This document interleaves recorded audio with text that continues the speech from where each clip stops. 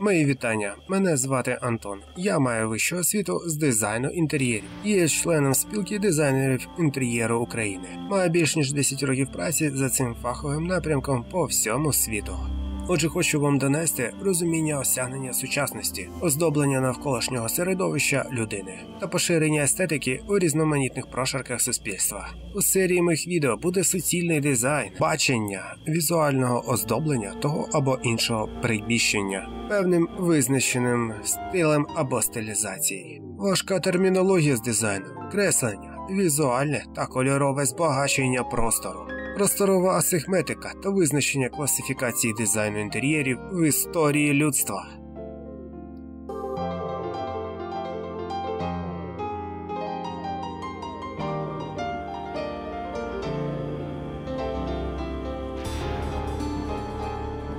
Та нехай сяєве світло знань на початку свого усвідомлення, ще тоді, коли дослідження архітектури минулого тільки розпочинали свою історію, переважна більшість архітекторів та науковців не бажала визнавати існування готичного стилю, адже вся архітектура, яка була побудована до 15 століття, мала загальну тезу варварська.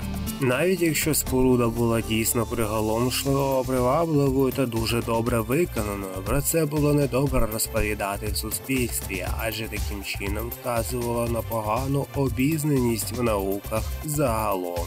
Занадто вже багато часу чекали ці величні архітектурні пам'ятки мистецтва та їх автори свого справедливого визнання, основні засади кожної культури.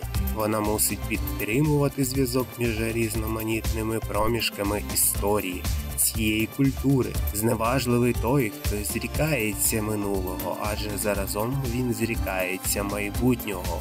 Праця Dic Dictionnaire raisonné de l'architecture française, що її виконав Віолле-ле-Дюк, починаючи з 1854 року до 1868. Автор народився у Франції, Париж 1814 року та помер 1879. Романська та й готична архітектура неможливі без архітектурного досвіду попередників і математичних знань. Метод геометричної пропорції головував ті часи через авторитет математичних знань науковців Арабської Іспанії і античних математиків, твори яких активно перекладали в середньовічній Франції. Геометрія вразила уяву середньовічних митців як, начебто, універсальний засіб пізнання і побудови всесвіту. Одним з підрозділів цього пізнання стала архітектурна теорія і практика готичної архітектури. До другої половини X століття закінчилася доба військових чувар з норманами та угорцями. У Франції відновилося будівництво аббатств та монастирів, головних осередків тогочасних знань і освіти. Так сталося, що саме в ті часи 12 століття поряд з аббатством Сан-Дені розташувалась одна з чисельних королівських резиденцій, що почало сприяти розвитку цього регіону старовинної Франції. Однак не тільки прихильність заможних верст населення до окремого регіону, а також для побудови церкви чи величного собору були обов'язкові розвідані поклади каменю, піску, вапна, відповідний ліс, деревина і поклади свинцю в майбутньому, пластинами якого вкривали готичні дахи соборів. Широко відомими були кам'яні кар'єри Франції, особливо поблизу Турне, звідки камінь і тесені деталі везли в Пікардію, Артуа, Шампань і навіть у Англію. Важливою частиною будівництва був будівельний реманент, залізні інструменти, механічні пили, вороти, блоки, величні дерев'яні колеса для постачання будівельних матеріалів до гори. Люди, що працювали з новим архітектурним стилем, досягали неймовірної майстерності в архітектурі, декоруванні, літографії, скульптурі та виготовленні побутових речей. Готика розвивалася в країнах, де панувала католицька церква, і під її егідою феодально-церковної основи зберігали в ідеології і культурі, усталені готичні догми. Готичне мистецтво довгий час залишалося переважно культовим за призначенням і релігійним за тематикою. Воно було співвіднесено з вічністю, з вищими раціональними силами. Південна Франція раніше за інші регіони відновила економіку після занепаду IV століття. Саме в південній Франції збереглося багато будівель стародавнього Риму, технічних засобів архітектури, які унаслідувались і використовувались. І саме тут ченсі були носіями математичних і будівельних знань, потрібних для розвитку та осягнення нових архітектурних форм у 12 столітті. Абат Сюжер, що народився 1080 року та помер 1151-го, Франція Ільде Франц, який почав служити у першому готичному соборі аббатства Сан-Дені Ільде Франц. У роки його розбудови з 1120 до 1145. З перших місяців своєї служби на посаді абат Сюжер розпочав збори коштів на перебудову монастирської церкви Сен-Дені. Але діяльність Сюжера мала значні розбіжності з вимогами і настановами церкви. Побожний і прихильний до вимог церкви Сюжер був прибічником реформ через освіту, навчання братії дисципліні, сам не вітав аскетизм, а залишався прихильником естетичної краси у храмі і через храмову красу зміцнював віру у Бога та у короля, що й забезпечило йому успіх у реалізації його починань. Подальшу близькість до королівського двору він використав як для примирення і дипломатичного вирішення гострих політичних проблем, так і для отримання грошових внесків у своє аббатство. Швидко монастир Сен-Дені став самим значним у Франції в ті часи. У своїх записах Сюжер неодноразово вказував, як запрошував з усіх усюд майстрів для оздоблення Сен-Дені, найкращих художників, яких обирав майстерних скульпторів для створення бронзових дверей. Він отримав найкращих на той час майстрів здоблення скло. Все це заради зміцнення віри через розширення, а потім і перебудову аббатства, що став стало головною ідеєю в Ілля Франц. Повсякденне життя в середньовіччі розглядалося як підготовка до страшного суду, а потім до перебування в чистилищі чи раю до вічного життя по смерті. Працю на побудові нового храму почали розглядати як прощу, що скорочувала перебування в чистилищі і була переходом до праведності. Дуже важливим для історії стало те, що Аббат Сюжер написав трактат про освячені церкви Сен-Дені, де описав символічність всіх елементів архітектури собору, модернову побудову хору та склепіння.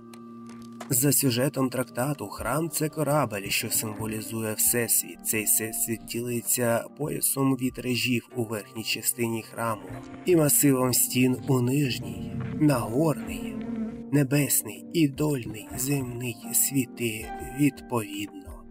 Стіни храму, як обителі Божої, дематеріалізуються рельєфним і скульптурним ажуром. Такий конструктивний елемент, як арка, символізує розрив круговороту часу, адже в цілому образ храму також несе змістовне навантаження про швидкоплинність.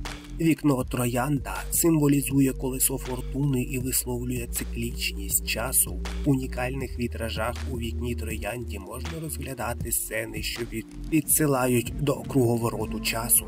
Світло, яке проникає через яскраве кольорове скло, позначає божественне світло, божественне провідіння. Важливо зауважити, що в той час народ середньовіччя перебував напередодні очікування швидкого кінця світу. Споглядаючи вітражі, людина відсторонюється від матеріального, тілесного, людського світу і потрапляє в іманентний, духовний, божественний всесвіт. Абат Сужер надавав особливе значення розпорошеному світлу, що проходило до приміщення крізь кольорове скло. Кожне вікно у церкві мало певний сюжет, який подекуди повторювався однак у іншому образі. Сюжети не перевищували одного квадратного метра. До сюжетів додавалося геометричне або рослинне оздоблення орнаменту для підвищення цікавості до сюжету. Історію церкви можна було переглядати та вивчати подекуди, отримуючи божественне проведіння через світло, тематику обирала церква, створюючи жорстоку монополію на зображення у середньовічному світі. У цих вітражах використовували кам'яні палітурки та перемички зі сінцю, чорним контуром посилювали контраст кольорів. У подальшому вітражі тільки збільшували свої розміри у храмах що відповідало загальній концепції, започаткованій та описані у його трактаті. Важливо підкреслити, що Абат був покровителем перебудови Сен-Дені, але не архітектором, як це часто вважалося в 19 та на початку 20-го століття. Насправді виявляється, що два архітектори або талановиті майстри масони були залучені до вирішальної побудови 12 століття.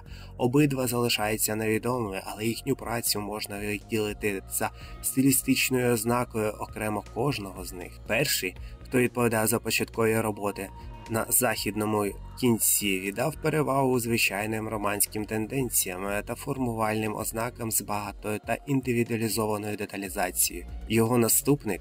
Який завершив західний фасад та верхній поверхи на Артексу, перш ніж розпочати будівництво нового хору, проявив більш стриманий підхід до декоративних ефектів, спираючись на простий набір мотивів.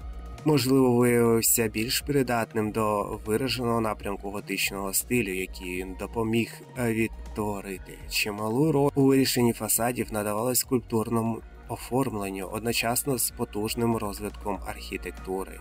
Це надавало нові змісти в загальному формотворенні концепції споруди. Портали стали більш розкішними, що підсвідомо вказувало на добробут, заохочувало до церкви.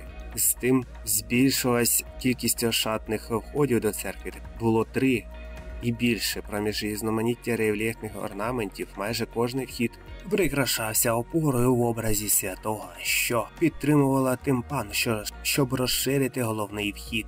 Отже, з тим скульптура ставала більш реалістичною, привертала увагу різноманіттям облич, поз одягу та сюжетів, що підкреслювала індивідуальність та цікавість до мирського у оздобленні церкви. Після становлення готичної архітектури християнська культура стає більш світською та бере за мету нову роль заохочувати вплив світської влади, закликаючи людей до спокійної покори і послуху.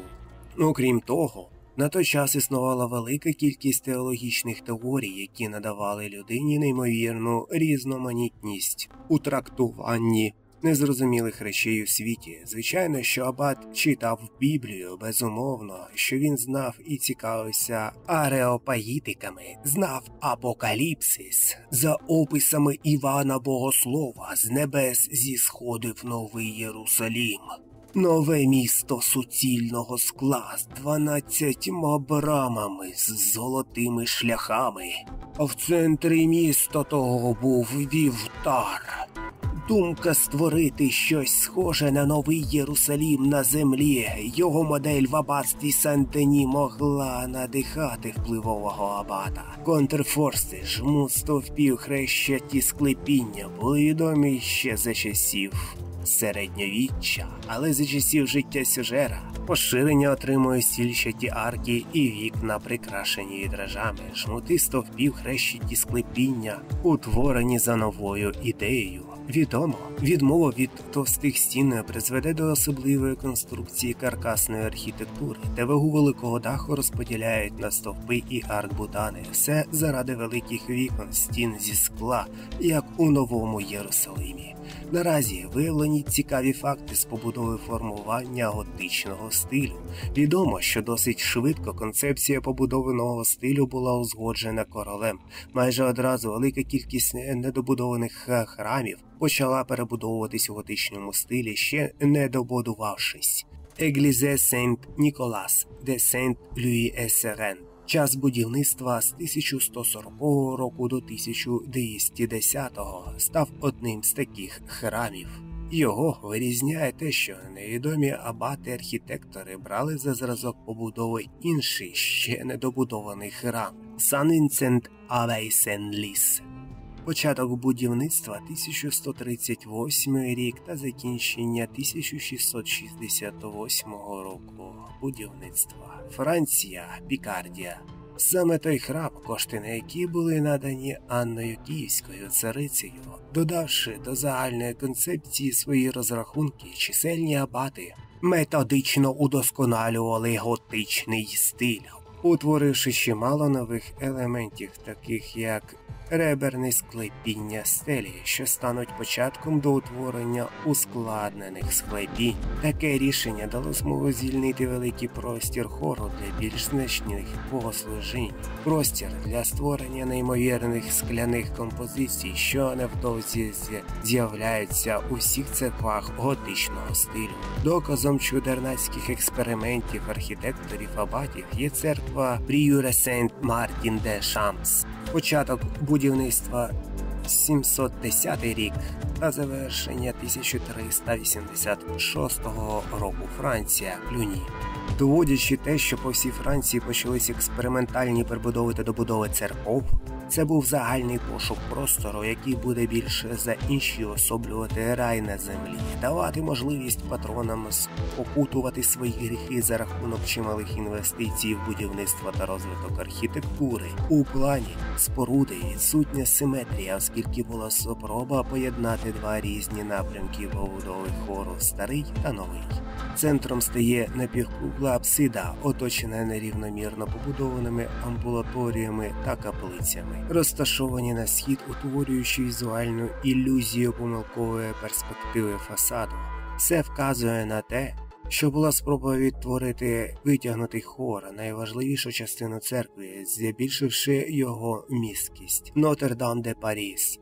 Початок будівництва 1163 рік та кінець будівництва 1345 Франція Париж. Головними архітекторами проєкту є Жан де Шелес, що народився 1200 року та помер 1265 Франція Шеліста, та П'єре де Монтрюіль, який народився 1200 року та помер 1267 Франція Монтрюіль. За початковими задумами храм мав приймати всіх мешканців тогочасного Парижу, але за час будівництва кількість мешканців міста збільшилась у декілька разів. Собор є першою монументальною будівлею у готичному стилі, а також особлює собі усі на той час відомі конструктивні можливості готичного стилю. Його довжина 130 метрів, а висота 35. Вже це повинно було привертати увагу та визначати його унікальність. Будівництво західного фасаду з його видатними двома баштами почалося приблизно у 1200 році, перш ніж було закінчено центральний неф прохід до Євтеря. За період будівництва змінилося багато архітекторів, про що свідчить архітектурні форми побудови храму, що відрізняються одна від одної, а також різна висота західної сторони і башт. Башти були закінчені у 1245 році, але собору 1345. Собору було створено з унікальним на той час шестипарним нервюрним склепінням. До того ж, споруда сформувала подвійні бокові подільні нефи та три трибуни верхньої галереї. Портали стали ними з небагатьох, де було виявлено у повній мірі мистецтво традиційної готичної скульптури. Портал Святої Анни був створений першим. Наступним створили портал страшного судилища. На завершенні композиції було утворено портал Богоматері. Зі східної сторони собору вирізняється портал трансепту, який присвятили святому мученику Стефану. Загальна композиція споруди утворює міцний та домінуючий фасад, подібний до середньовічних фортець та замків, що було притаманно тим часам. Фасад розподілено три частини по вертикалі пілясрами, в той час як по горизонталі його також розподіляють на три яруси галереї. Нижні яруси глибині архітектури має три описані вищі портали зі скульптурою. Вище них утворено галерею царів, які описані у святому писанні, та панно з різноманітними сюжетами зі святого писання. Кожну з арок порталів підтримує сім скульптурних образів святих, де по центру виявлення Христос та два янголи судді. На порталах також присутні образи мертвяків, що повстають з могил. Їх е, побуджують ангели з музичними інструментами. Серед повсталих мертвяків вирізняються король та священник величного сану. Вони ведуть те військо мертвяків, що по суті є особленням усього людства. Східна роза вітраж особлює безмежність та нескінченність і утримує квадрат, який символізує існуюче та матеріальне. Зображення, що виконані на її тражах, є уособленням психомахії, вічного бою пророків та добрих справ діячів. Цей супротив прикрашають образи зоряниць звичайних людей, які працюють, незважаючи ні на що всередині та ззовні присутні скульптури Богоматері у умовному центрі рози, як ознака миру, працелюбства та любові. Цікаво зазначити, що вежі головного фасаду не є однаковими, і аж до 15 століття дзвони знаходились тільки в одній вежі. Апсиду собору підтримують аркбутани радіусом у 15 метрів. Дах викладено зі свинцевої плитки товщею 5 мм, яка набирала абияку популярність у часи розвитку готики. Її викладено за набором одна на одну. Загальна вага такого даху перевищує 210 тонн. Сам дах прикрашають скульптури містичних е, створінь, які також виконують функції відводу води з даху споруди.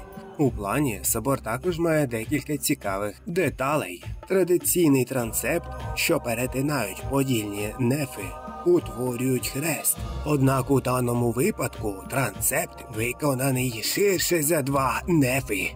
Унікальними три рози собору східна зображає прояв Бога, інші рози зображають історію від старого до нового заповіту Божого. Слід зазначити, що стародавнє скло має чимало дефектів повітря та сміття у своїй основі. Одначе майстри собору при будівництві та відтворенні вітражів використали ті дефекти задля підсилення дії світла на певні події у зображеннях вітражів. Це забезпечує прояви дивних відблисків, тіней, мерехтінь, відтінків, а подекуди навіть ептових спалахів світла під час перегляду сюжету вітражів з відстані підлоги собору у денну пору доби. Собор став місцем суспільного життя міста. Його оточували чисельні лавки та ядки, де продавали різноманітні товари. Купці тут укладали угоди, а світські дами приходили похизувати своїм вбранням. Також тут обмінювалися новинами та плітками. Тут влаштовували танці та карнавали, грали у м'яча. Під час небезпек в соборі знаходили притулок мешканці сусідніх селищ не тільки зі своїми пожитками, а навіть із худобою. В соборі професори читали лекції своїм студентам, роблячи перерву для богослужінь. Розпочався новий період у розвитку середньовічного мистецтва на території Західної, центральної і частково північно північної Європи з 11 по 16 століття готика прийшла на зміну романському візантійському стилю та іншим поступово витісняючи їх. До 12 століття значна кількість архітектурних елементів споруд мала усталені форми. Наприклад, архівольти виглядали як напівциркульні арки, інколи їх підвищували більше рідко робили підковоподібними. Поступово їх форми виникають уломані лінії, стрічаті арки отримують розповсюдження саме з початку 12 століття. У Бургундії, Ліоні, Анжу, Пуату, Нормандії, зрештою по всій Європі. Іншою від'ємною частиною побудови архівотів стає збільшення кількості рядів арки та прикрашення цих рядів орнаментом відповідно до провінцій, у якій відбувалось будівництво споруди. Почали будувати товстіші стіни арок саме через підвищення висоти простору у нових храмах. Заразом почали змінюватись портали. Вони ставали профільованими з великою кількістю архівольтів, що розташовувались один над іншим до дев'яти рядів. Спершу це були лише церковні споруди, однак вже невдовзі елементи готики почали з'являтися у приватних оселях заможних осіб, місцевих адміністративних будинках та як окремі декоративні скульптурні елементи. Початком того слугувало виникнення різноманітних орденів та відокремлень Святої католицької церкви Джіоа де Коле, збудований 1230 року. Італія Пуля замок розбудовано Федеріко II після повернення шостого. Христового походу до Святої Землі. Замок став одним з багатьох розташованих у південній Італії для військового контролю над працівниками, що працювали на радючих землях Італії. Власник замку полюбляв мешкати у них, через що споруда була розбудована не тільки як фортифікаційне укріплення, але як помешкання заможного землевласника. Винятковим є готичне оздоблення замку, що в ті часи вважалось зухвалістю та заборонялось католицькою церквою у приватних маєтках. Однак, оскільки замок мав також захист захисні функції, на це не зважали. Заможні від чисельних походів лицарі щедро дарували награбоване у походах церкві, нерідко створювали чимало нових орденів. Втім, після того багато з них було визнано ертиками та підглядало винищенню. Навіть коли орден, що підпадав під запекле знищення, віру у того ж самого католицького бога, його могли не визнавати офіційно через супротив сплати окремих податків церкві або спробі уникнення від прямого підпорядкування та призначення святих пастирів католицької церкви.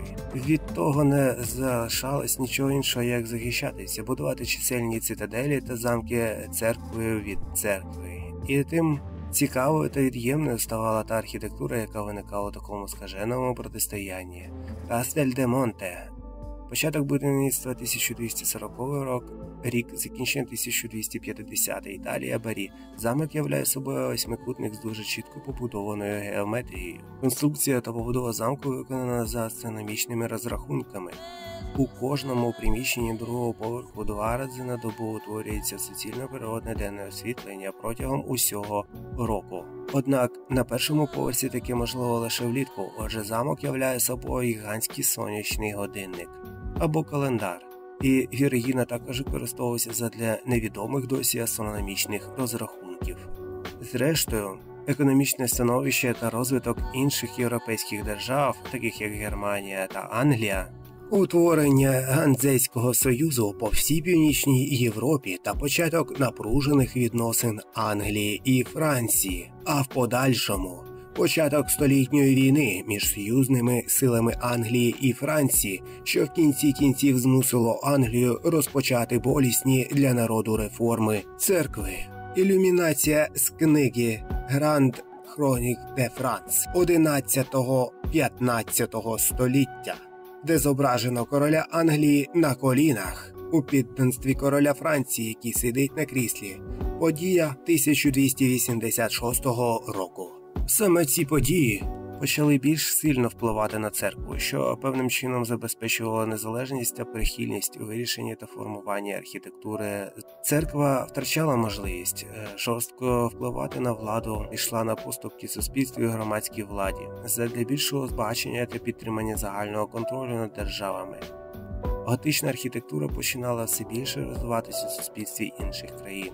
Додаючи різноманіття у загальні форми стилю, почали виникати перші громадські споруди у готичному стилі. Любек Таун Холл, початок будівництва 1277 рік та закінчення 1351 Германія Любек. Саме місто, відіграючи важливу роль у економічному житті Балтійського регіону, Любек став важливим торгівельним містом у 13-14 столітті. Насувались нові часи створення торгівельних союзів Північної Європи. Центр становлення готичного мистецтва починав переміщуватись до Германії з її новими матеріалами, образами та формами. Подальшим переосягненням вже старого стилю з неминучими перетвореннями та новотвореннями сприйнятої форми, незважаючи на епідемію чорної смерті. 14 століття вважають століттям тріумфального розповсюдження готики по країнам Європи. Від романського стилю готику успадкували верховенство архітектури в системі мистецтв і традиційні типи споруд. Особливе місце в мистецтві готики зайняв будинок собору. Вищий зразок синтезу архітектури, скульптури і живопису, незрівняний з людиною простір собору, домінуючі образи його веж і склепіння, підпорядкування скульптури динамічним архітектурним ритмам, багато рівневе сяєво і тражів робили сильний емоційний вплив на віруючих, загалом диктуючи тенденції архітектури майбутнього.